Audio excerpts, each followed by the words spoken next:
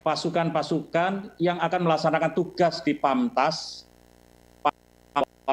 termasuk tugas-tugas perbantuan dalam menangani COVID-19 itu dulu.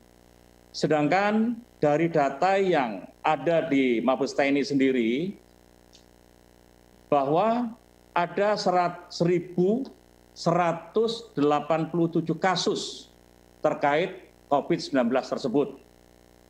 Yang positif ada 55 orang, kemudian PDP 190 orang, ODP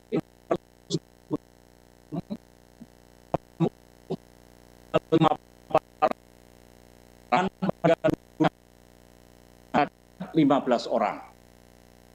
Dan ini setiap hari kita update terkait dengan perkembangan yang terinfeksi COVID-19 tersebut.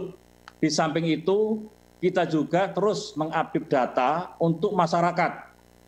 Karena TNI memiliki jaringan sampai ke desa-desa dan kita bandingkan dengan data yang dikeluarkan oleh Kementerian Kesehatan. Setiap hari uh, kita terus mengupdate data tersebut.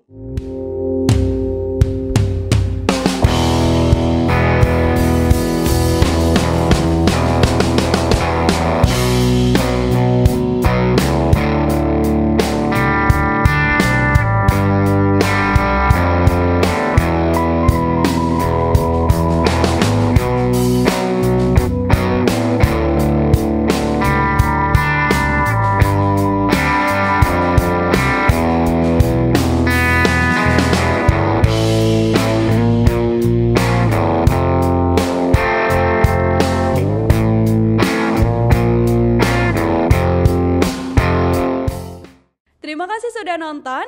Jangan lupa like, subscribe, dan share ya.